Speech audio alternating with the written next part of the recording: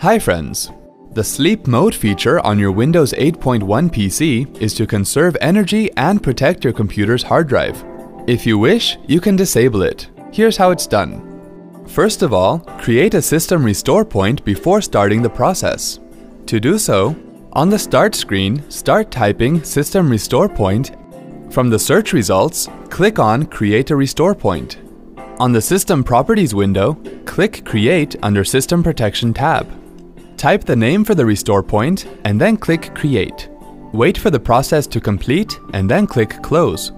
Click OK to close the System Properties window. Now you can disable Automatic Sleep Mode. To do so, move the mouse cursor to the bottom left of the start screen and then right-click there. Click Control Panel on the menu that appears. On the Control Panel window, click System and Security and then click Power Options.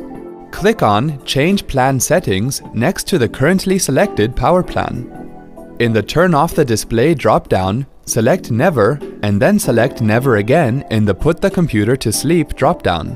When done, click on Save Changes. Hope this was helpful. Have a good day.